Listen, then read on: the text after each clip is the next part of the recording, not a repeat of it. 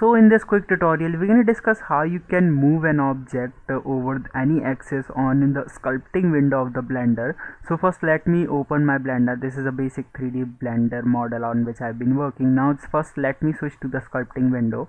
Now this is the sculpting window. A lot of people have been confused on how to move the object over here over this window. Here on this left window you need to scroll down till the last on this brushes list.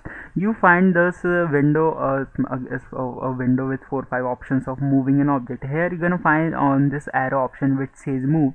When you click over there now you're gonna see a basic axis uh, over this model.